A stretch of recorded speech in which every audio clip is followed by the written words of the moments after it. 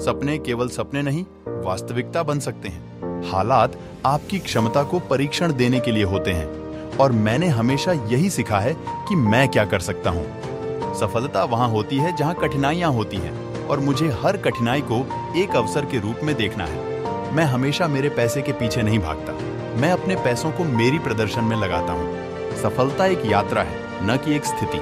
आपकी महत्वाकांक्षाएँ आपकी सीमाओं को पार कर सकती हैं। मुझे हमेशा वो चीज़ें करनी है जिन्होंने मुझे डराया हो, क्योंकि वही चीज़ें मुझे सबसे ज़्यादा आगे बढ़ाती हैं। अगर आप मेहनत करते हैं तो कोई भी लक्ष्य हासिल कर सकते हैं। विफलता केवल एक विचार है, सफलता केवल एक कदम दूर है। जब आप अपने सपनों का पीछा करते हैं तो पूरी दुनिया आपके साथ होती है।